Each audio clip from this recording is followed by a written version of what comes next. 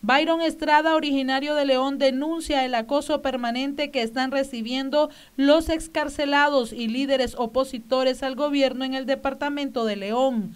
El acoso permanente que hemos estado sufriendo los excarcelados, la familia de los presos políticos, también hemos estado en, en un asedio permanente dentro de nuestras casas, estamos presos dentro de nuestras casas.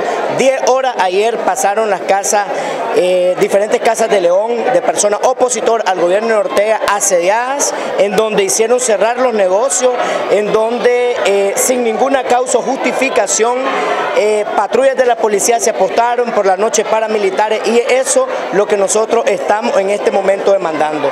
Libertad para los presos políticos, una coalición en donde reformas integrales a la ley electoral y sobre todo se respeten nuestros derechos constitucionales. Byron Estrada describe cuántas viviendas están bajo hostigamiento en la ciudad universitaria.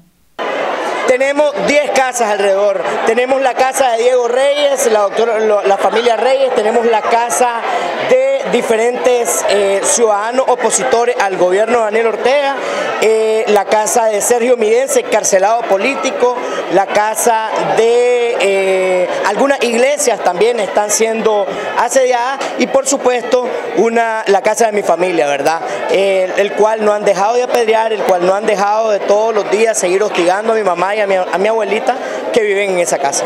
Para Noticias 12, Castalia Zapata.